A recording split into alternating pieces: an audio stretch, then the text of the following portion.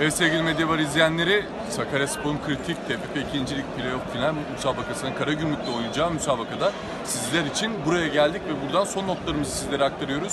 Yaklaşık biliyorsunuz ki maç öncesine kadar 20 bin Sakaryaspor taraftarı bilet ayrılmıştı ve Sakaryaspor taraftarı da kendi yerine ayrılan biletleri doldurdu ve şu an stada giriş yapıyorlar. Gördüğünüz üzere kameraman arkadaşımız sizlere gösteriyor stat öncesi güvenlik güçlerinin yoğun bir kontrolü var. Sonrasında ise tribünde yerlerini alıyorlar.